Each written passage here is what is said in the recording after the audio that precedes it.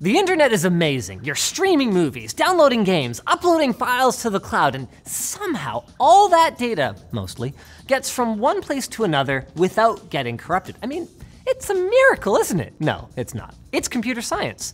In particular, we owe this modern marvel to checksums, numbers that are used to verify that a file got sent or copied properly. But how does a simple number manage to perform this essential function? Well, it works thanks to cryptography. Even if the data that you're transmitting isn't encrypted or even particularly sensitive, in applications that use checksums, the protocol will run the contents of the file through a cryptographic hash function, which is basically a complicated math function that produces a lengthy and unique string of characters. The reason this works well for generating checksums is that if you change even one byte of data, even in a very large file, that string of characters, or hash, will change completely. And this is actually the same way that passwords are stored securely on websites.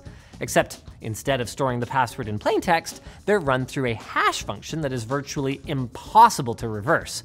That way, if a hacker breaks into the server, they only see a pretty much meaningless hash rather than your plain text password. But coming back to checksums, they play an important role in digital security as well.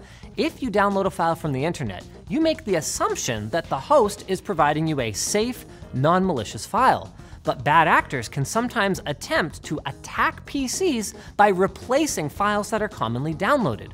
That's why many responsible websites will provide a checksum so that you can verify that the file you download is exactly what it's supposed to be. So, with this level of importance, you would think that checksums are ubiquitous in computing. But actually, that's not the case. In fact, in Windows, File Explorer doesn't use checksums by default when performing a file transfer.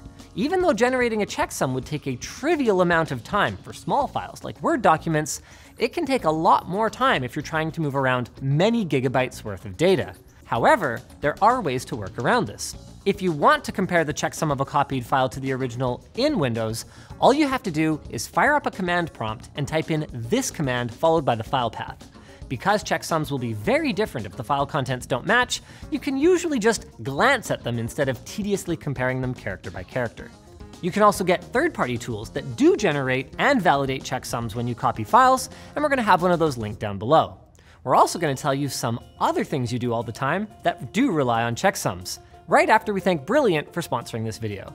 Brilliant is a hands-on and interactive way to learn STEM topics. They offer thousands of courses with new topics to learn every month, like their everyday math course. Simply honing your ability to learn and think will translate into everyday aspects of life, and their services can be used to supplement a college education, or you can use them to deepen your overall knowledge.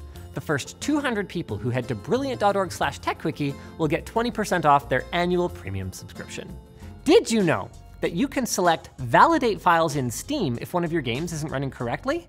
The service stores checksums of known good game files, so when you click this button, it compares them to the checksums of the files that are stored on your PC.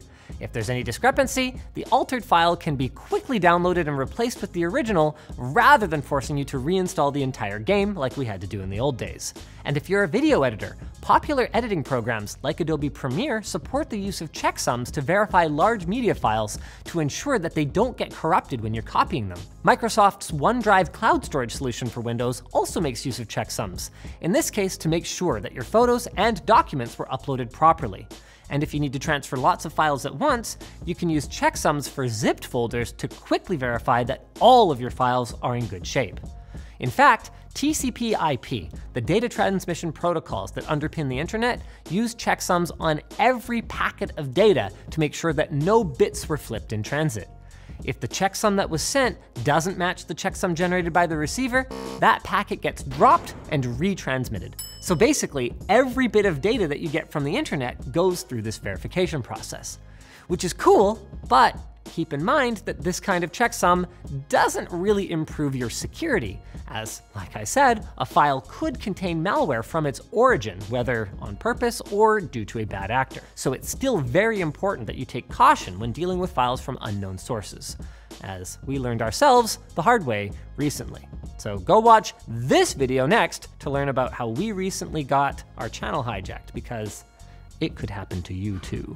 Thanks for watching, like or dislike, check out our other videos, and leave a comment if you have a future Fast oh, Techquickie video suggestion. We don't call it that anymore. I'm rusty.